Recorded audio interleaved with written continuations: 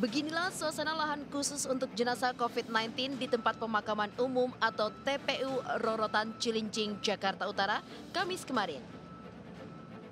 Sejumlah pekerja tampak masih terus berjibaku melakukan pengerukan dan perataan tanah seluas 2 hektar tersebut.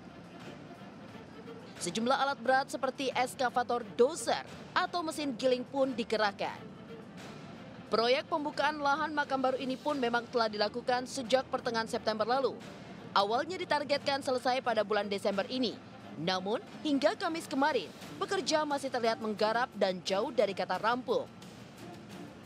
Salah satu kendalanya adalah kontur tanah yang lunak, bahkan seperti menjadi lumpur akibat intensitas hujan yang cukup tinggi beberapa minggu belakangan ini. Seperti diketahui, pembukaan lahan jenazah COVID baru ini merupakan langkah antisipasi Pemprov DKI atas keterbatasan lahan di TPU Tegal Alur, Jakarta Barat dan TPU Pondok Rangon, Jakarta Timur, menyusul kian loncaknya jumlah pasien yang meninggal akibat COVID-19.